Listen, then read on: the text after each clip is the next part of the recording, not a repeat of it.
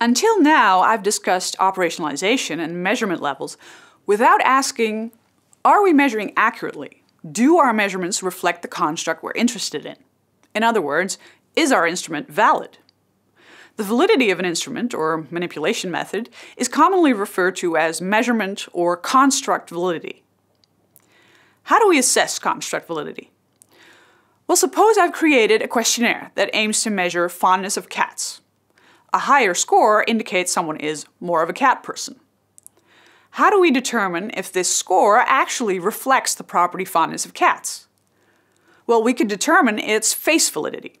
Face validity refers to how well the instrument represents the property according to the assessment of experts. An expert opinion can be useful in the development phase, but of course, experts can always be wrong.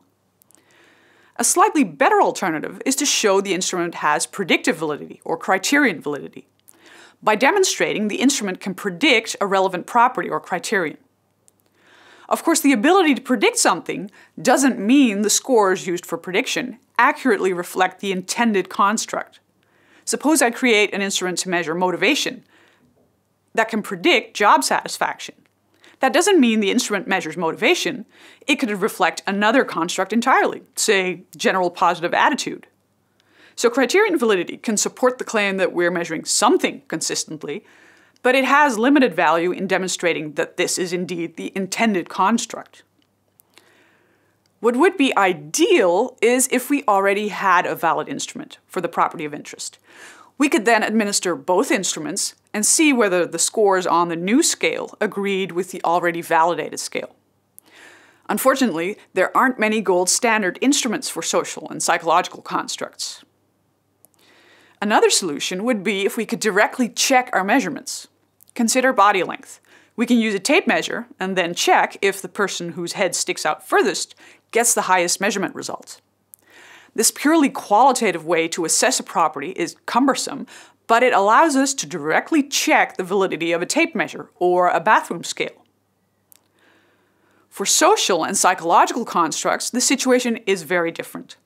We don't have an undisputed, direct way to determine whether one person is more intelligent or fonder of cats than another. So, is there another way to assess construct validity? Well, we can go about it indirectly by seeing whether the scores relate to similar and different variables in a way that we expect. We refer to this as convergent and discriminant validity.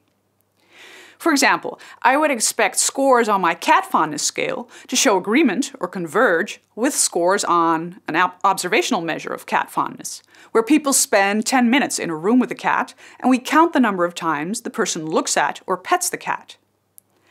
I would expect less agreement between my cat fondness questionnaire and a questionnaire on fondness of wild animals. It wouldn't be strange to find some association, but I would expect it to be smaller. Finally, I would expect no association with a variable that is supposedly unrelated to cat fondness, like fondness of pizza. A systematic method to assess convergent and discriminant validity is called a multi-trait, multi-method matrix approach. In this approach, we use different instruments, for example, different questionnaires, or observation and self-report instruments, to measure two traits. Let's take cat fondness and pizza fondness as an example.